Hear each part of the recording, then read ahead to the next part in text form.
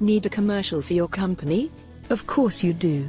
Everyone knows that best way to get noticed is to market your business online with video commercials.